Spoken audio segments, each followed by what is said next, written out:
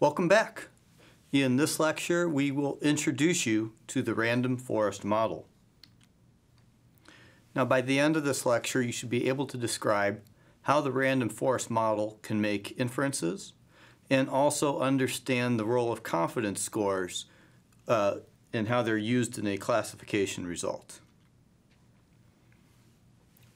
So in an earlier lecture, we studied a decision tree, and at each node of the decision tree, a feature, an associated threshold for a value of that feature is examined, and then the, de the decision tree then transitions to a different node depending on the value of the previous feature, and it does this iteratively till it reaches a final conclusion.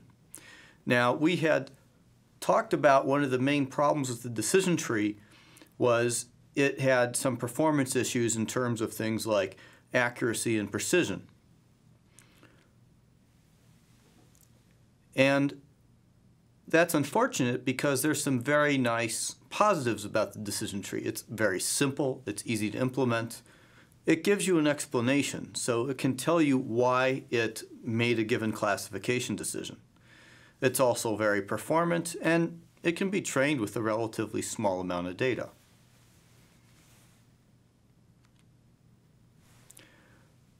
So what we're going to talk about today is how we use an ensemble of learners to get better performance. So while an individual decision tree doesn't give us the best uh, performance in terms of accuracy, there is a theory that if you have a lot of uh, learning models that maybe individually do not perform well, and then you combine the results in what's called an ensemble, you could do a lot better. And perhaps one of the most popular methods of ensemble learning today is the random forest. And when we use the word forest, we're talking about a forest of decision trees. And here is an example random forest visualized that I trained using the iris flower dataset that we've been discussing throughout this course. So here's how it works. Once I've trained all these decision trees, and now we see a new sample. So in this case, we have new measurements of an iris flower. Each decision tree processes that on its own. Now, for those of you who know a bit about things like GPUs and multi-core and parallel computation, you can easily see that in an inference step, this is totally trivial to parallelize.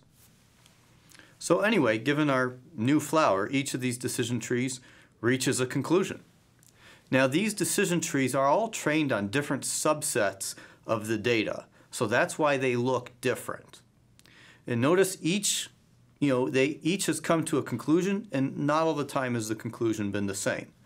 This is okay because in the next step we look at is how to aggregate the scores of the different decision trees. And a very simple way to do that that's widely used is through voting. And so we have three classes, 0, 1, and 2. None of the decision trees classified our new sample as class 0. Seven of them classified it for class 1. And then three classified it for class number 2. Now what you can do is you can interpret votes as what's called a confidence score. And this is very easy to do. In this case, we will just normalize a score. So now we have a level of confidence. So this is like saying that, hey, you know, um, it's very likely that it thinks it's class one, but there's a little bit of a chance it could be in class two. Now, one thing to be careful of with confidence scores is they may look like a probability, but note, they are not a probability. There's nothing uh, inherently probabilistic about this particular approach. And so we should not assume that you know this adheres to the probability axioms and so forth. Now, sometimes in a larger model, people may make an assumption that they say, hey, we're going to assume that the model gave us a probability distribution over classes. You know, that may or may not be okay given the application, but just note that this is not a probability. It's a confidence, which is why we use that term. So throughout this course, we will talk a little bit about how the training process works for each of these models. And again, why this is important is because if you have a little bit of intuition as to how the training process works, you will kind of uh, have a better idea of you know, where this model will work well. You'll also have a good notion of what the hyperparameters mean. And speaking of hyperparameters, that's what we will talk about next. So hyperparameters, for, uh, just to refresh everyone's memory, these are just numeric values associated with the model structure or with the learning algorithm. They are not assigned by the training process. So when we think of, say, another type of model, whether it's you know the slope assigned to a, given uh, feature in a linear regression model, or if it's a threshold value in a standard decision tree, those come from the training process. We're not talking about that with hyperparameters. We're talking about things that we use to tune the model that affect how that process works. So if you recall back to our discussion of decision trees, uh, a very common hyperparameter was the maximum depth of the decision tree. So these are the key hyperparameters for a random forest. So first is the number of estimators, and this is simply the number of decision trees in the forest. And on this slide, I am showing you nine trees. The next is the maximum depth. Now, with a single decision tree, that's the depth of that single tree. Now, the maximum depth in a random forest is the maximum depth of the, of the tree that is deepest. And in this case, it's uh, the fourth tree, as you see, and it has a depth of 7. The next is the number of samples per estimator. Now, what's interesting here is these, um, each tree is taking a subsample of the training data. It's not using all of it. And this is one of the ways that gives us diversity in the trees. And in fact, it is not even going to be the case that all the trees are going to be using the same amount of data. As you can see here, these are the uh, root node for a couple of the different trees, and all of them are starting with a different amount of samples. And this is okay, and we would expect this because we want some level of diversity in the trees. The reason why it's okay to take a random sample out of the historical data is because we are making the assumption that all of that data is generated from the same distribution. And so that is why we think um, it's safe to take a uh, subsample of the, of the uh, training data.